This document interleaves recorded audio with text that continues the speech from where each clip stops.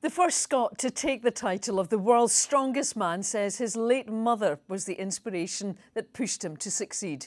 27 year old Tom Stoltman from Invergordon is back home in Easter Ross now after winning the prestigious accolade in California at the weekend. Nicola McAlley's been to meet him. The emotional moment that Tom Stoltman became the world's strongest man. It was a dream come true for the 27 year old and a fulfilment of a pledge to his late mother Sheila, who died in 2017. She's always been my biggest fan. You know, when she was on her deathbed, I said to her that one thing I will do if I'm not successful in other bits of my life is I would be world's strongest man. She was at every single competition I did. She was my biggest supporter.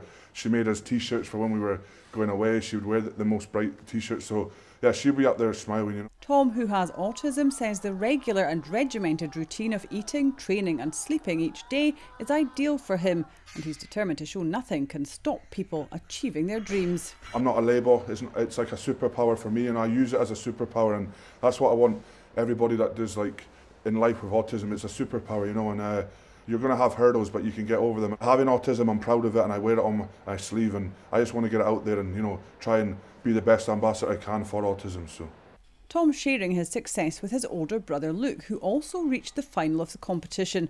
Together, they are officially the world's strongest brothers, and it's been a long journey. Six times a week, three hours, two hours a day. It's just, yeah, it's intense. So it's hard on the body, but you get used to it after a while. So hopefully, be there for a long time yet to come. Tom will always be my baby brother, you know, and that's that's the thing. Um, you've got that unconditional love. There's not many sporting people in the world at our level that can do that with their their siblings, and I'm just very, very blessed to be able to do that with Tom.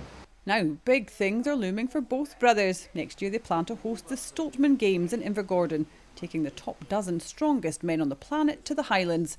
And a Netflix documentary will share their inspiring stories, raising mental health awareness. But for now, Tom will need to wait to show off his trophy after it broke in transit coming back from the US. I know, as soon as I landed, the the case it was in smashed and it's got a bit of a, some damage to it, but you know it's getting fixed as we speak, and I'll soon have it, you know, sleeping with me everywhere I go with me. So. Nicola McAlley, STV News.